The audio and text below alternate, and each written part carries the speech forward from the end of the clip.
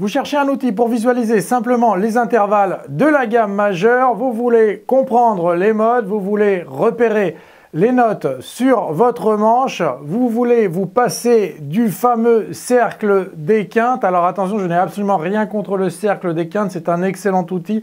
Peut-être pour certains d'entre vous, c'est encore un petit peu complexe et un petit peu flou tout ça.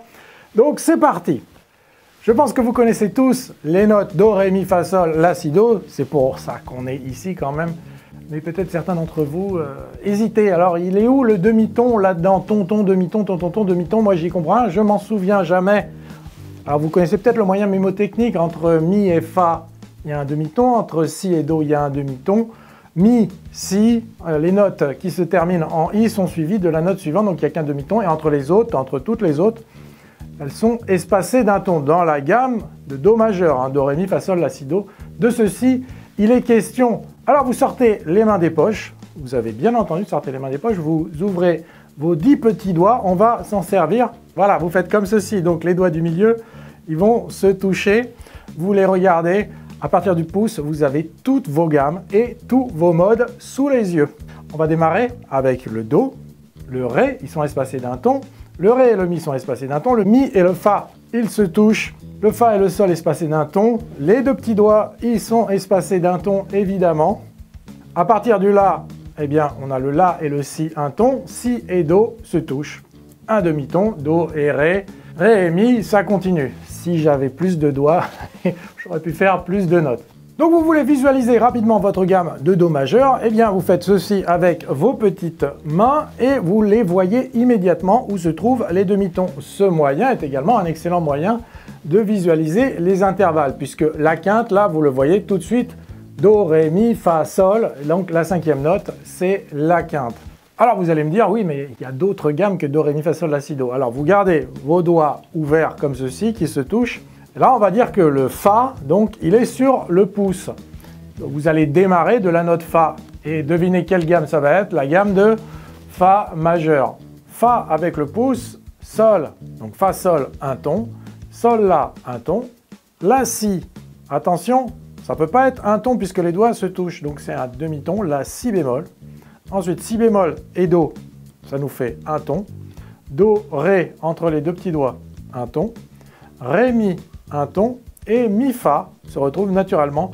Et là, c'est au bon endroit, puisque la septième majeure, c'est toujours un demi-ton avant l'octave. Bien entendu, ça marche également avec les autres gammes. On va prendre par exemple la gamme de Sol majeur. Donc on va démarrer avec le Sol. Sol, La, Si, Do. Eh, là c'est super, on n'a rien à changer. Donc toujours le demi-ton au même endroit. Do, Ré, Ré, Mi, Mi, Fa. Non, c'est pas possible. Il faut que ça soit un ton. Il y a le grand écartement. Donc Mi, Fa, Fa dièse. Et ben voilà, on l'a, Fa dièse, la septième majeure et le Sol, on revient donc sur l'octave. Les guitaristes, les violonistes, les bassistes, enfin tous ceux qui jouent des instruments à cordes, j'espère que vous êtes restés avec moi parce que je vais vous montrer un petit truc aussi pour trouver les notes sur votre manche. On va passer par les modes. Alors, vous savez, mode ionien, dorien, phrygien, lydien, etc. Peut-être vous n'êtes pas encore super à l'aise avec ces termes-là. Je vous avouerai que moi non plus, j'aurais peut-être choisi des noms un peu plus simples, avec une certaine logique. Mais on a nos doigts, et la logique de nos doigts, elle ne ment pas. Donc, le premier mode, ionien, dorien, avec intervalle de un ton, un demi-ton, un ton, un ton, phrygien, lydien, mixolydien. Donc, le mode dorien, eh bien, vous faites ça avec vos mains. Peut-être c'est un signe de ralliement lors d'un concert de heavy metal, qui sait. On a Ré, Mi, Fa, Sol, La, Si, Do, Ré. Et vous avez donc ces intervalles de un ton, un demi-ton, un ton, un ton, un ton et un demi-ton. Donc ça, c'est quand même super si vous avez une guitare ou un instrument à cordes. Alors pour les guitaristes, on va prendre une guitare, je n'ai pas de violon sur moi. Donc vous démarrez de la note Ré, n'importe quelle note Ré du manche, et vous suivez cet intervalle, visualisez-le. C'est quand même très très simple de le repérer. Alors le Ré, il est à la troisième case de la deuxième corde sur une guitare. Donc vous allez faire cet intervalle-là. Ré, Mi, Fa, Sol, La, Si, Do, Ré. Ré, Mi, Fa, Sol, La, Si, Do, Ré. Ré, Mi, Fa, Sol, La, Si, Do, Ré. Ça, c'est hyper simple. Cette méthode, je l'ai appelée la méthode facile à Ré, Mi. Alors pas parce qu'il y a les notes Fa, Si, La, Ré, Mi, mais parce que ça démarre par les notes Ré, Mi. Je... Elle est de moi celle-là.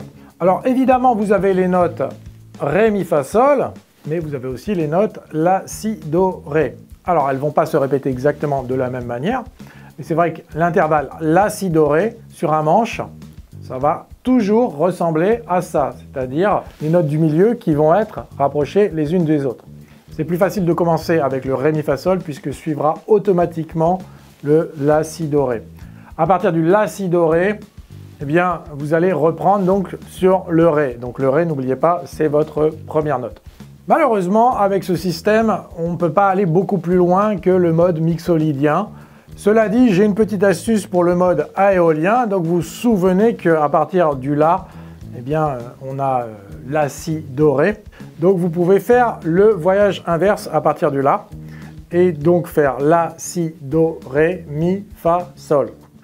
Si ce petit truc vous a aidé, vous m'envoyez ravi sur la chaîne Roux Guitare. Je vous aide à perfectionner votre jeu de guitare et j'essaye toujours d'amener les choses quand c'est possible avec une approche un petit peu différente, essayer de simplifier les choses, de les rendre bien moins indigestes. On a vulgarisé aujourd'hui, évidemment ce cours ne se substitue pas à la connaissance du cercle des quintes, mais je sais que pour certains d'entre vous, ben, voilà, ce que vous avez appris aujourd'hui va déjà vous aider. Si vous êtes guitariste et que vous voulez connaître toutes les notes du manche sans vous taper un gros mal de crâne, je vous invite à regarder cette vidéo que j'ai fait il y a quelques temps, mais je vous montre un petit peu la manière dont je l'ai fait aujourd'hui. Quelques petits raccourcis, quelques petites astuces pour visualiser rapidement votre manche de guitare sans passer par la case théorie, sans passer par les fameux intervalles de quinte. Donc ça va être quelque chose de très très pratique, vous allez pouvoir utiliser tout de suite. Voilà, donc je vous invite à vous abonner à la chaîne Roux Guitare si vous souhaitez retrouver plus de tutoriels comme ceci et vous pourrez vous vanter et dire à vos amis que vous connaissez vos gammes sur le bout des doigts. A très bientôt